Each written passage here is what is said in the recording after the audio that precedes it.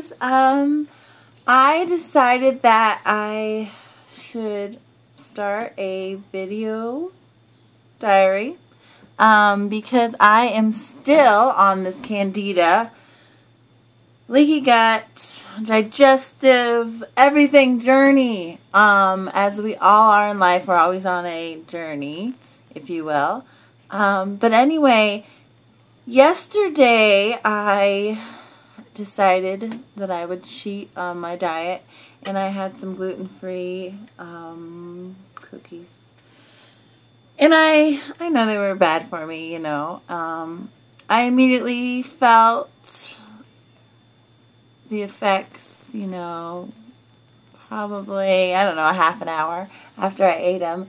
And my throat started to close up. As you can tell, I have the little hard time right now talking.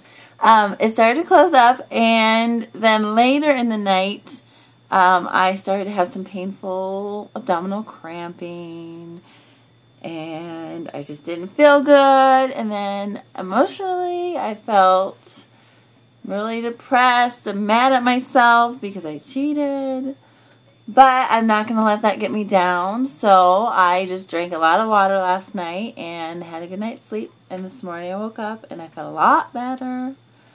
Um, but, you know, it gets hard every day to have to be so strict on this diet. And I have been on it for about five months now.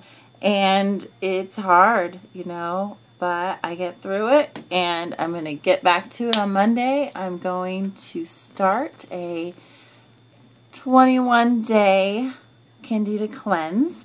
So if you want to join me um, and get some emotional support as well as some great ideas for some recipes, um, go ahead and just click on the link below and you can join me. Um, I'm excited to see what we can do um, as far as healing together.